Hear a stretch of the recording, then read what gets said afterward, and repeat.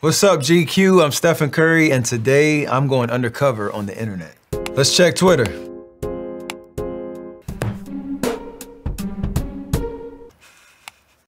All right, that's it. I'm signing out. Peace.